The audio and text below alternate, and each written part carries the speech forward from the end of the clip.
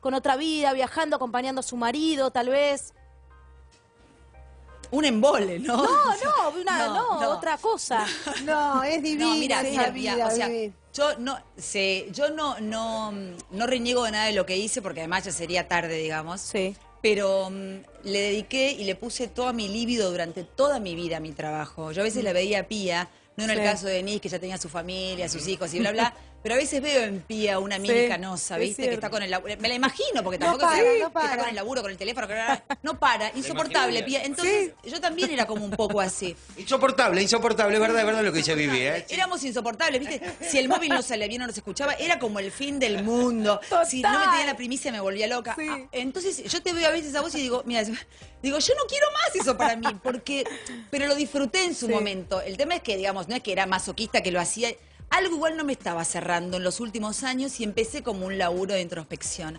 Pero me llegó solo y después conocí a mi marido y después la maternidad y fui acomodando. Pero siento que quemé muchas etapas que me rodeé de, gente y de mucha gente, no, no iba para, para adentro. Y te, te asusta un poco cuando vas a ir para adentro porque no sabes con qué te vas a encontrar, con tus luces, con tus sombras.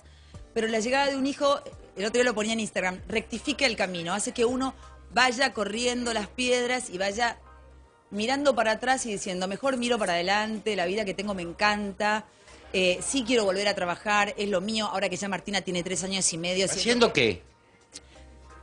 todo. ¿Qué quiero decir? No me imagino haciendo espectáculos puntualmente, pero porque siento que, que no tengo mucho para aportar. En las épocas en que vos y yo laburábamos y que teníamos al que tejedi de competencia, que era tú, mira. En la época de Real y Canosa era como River Boca. Entonces, aunque yo lo recontra padecía, había como una cosa de sangre de decir, a ver, Un goce, ¿no? no sé si goce, pero yo sufría, pero lo que te quiero decir es que, a, a ver, que no, éramos dos programas, ahora son todos. Entonces, Sí. cuando son dos programas, a ver quién tiene a Wanda Nara, ¿viste? Era, nos matamos. ¿Quién tiene a. Mirta Legrand? Había algo de... Ahora todo el mundo tiene todo, el noticiero, el cable, ya no Sí. hay Todo el un día es espacio para mí dentro del mundo del espectáculo, porque además ya no me divierte como antes. O sea, antes algo me divertía para que ¿Como yo... lo- espectadora te divierte? no.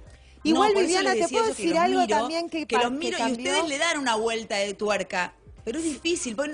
¿Cuántos famosos famosos tenemos? O sea, viste, vos mirás las tapas de las revistas o mirás, está bien que haya gente nueva, pero hay gente que vos decís, ¿y qué hizo?